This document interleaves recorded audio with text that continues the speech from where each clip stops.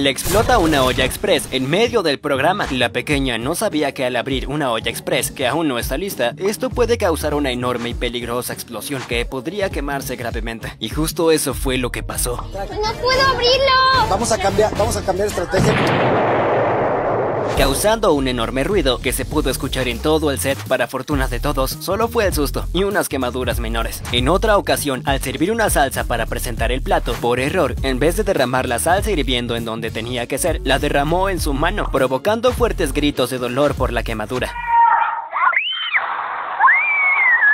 Lo curioso fue que nadie la auxilió hasta después de un rato, ni siquiera sus padres, que estaban a tan solo unos metros de ella. Solo se quedaron sentados viendo la situación. Supongo que ya sabían que no era para tanto. Y lo que tampoco era para tanto